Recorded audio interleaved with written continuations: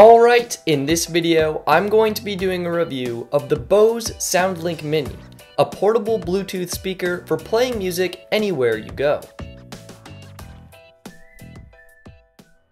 When you purchase the Bose SoundLink Mini, you receive the speaker itself, a charging dock, a wall charger, and an instruction booklet.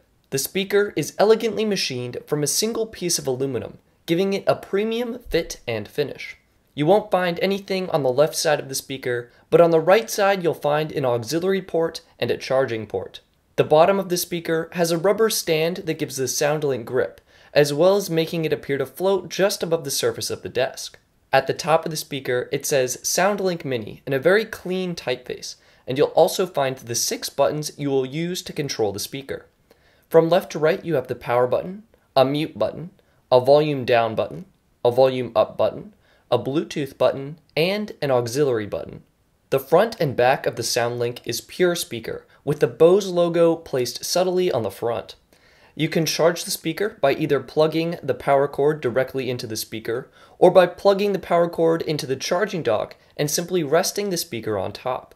I think the charging dock is an excellent accessory, as it allows you to easily set the speaker down when it needs juice, or quickly grab it when you're on the go. Bose claims the speaker takes about 3 hours to charge and provides about 7 hours of audio playback on a full battery. Bose also claims the speaker has about a 30 foot radius, and I can verify this is true so long as you have a clear line of sight with the speaker. If you can see the speaker and you are within a 30 foot radius, then the connection will be great. However, the speaker does struggle to receive signal through walls.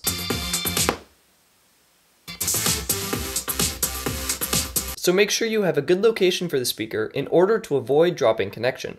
You can use the speaker to enjoy music from any iPod or MP3 player by using an auxiliary cord, but the SoundLink Mini is really designed to play music wirelessly via Bluetooth.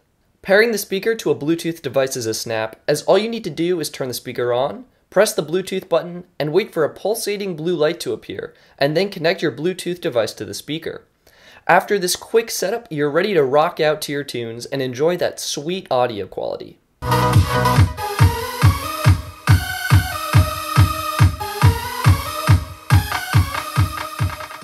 I personally found the speaker had excellent audio quality, as it balanced crisp mids and highs perfectly with a punchy bass. All of my music sounded fantastic, and the speaker could get nice and loud.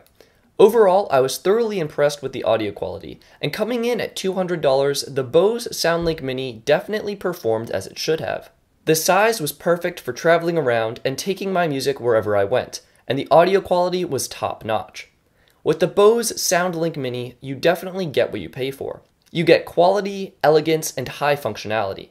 However, at that high $200 price point, this mini speaker from Bose isn't for everyone.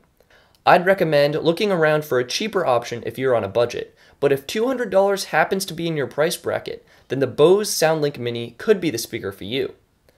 Alright, that wraps up this video. Thank you for watching, and I'll see you next time.